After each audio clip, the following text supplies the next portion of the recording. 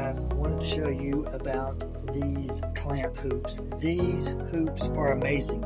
You can do bags, backpacks with all these zippers in them, and then that way you don't have to do any style of magnetic hoop clamping, open it holes, anything like that. These hoops actually have a little gripper system in them. So it's got all these grippy teeth all the way around top and the bottom to hold your mechanism. You leave this hoop on your machine, you get your backpack, your floor mats, your whatever, you load it into the machine where you want it at.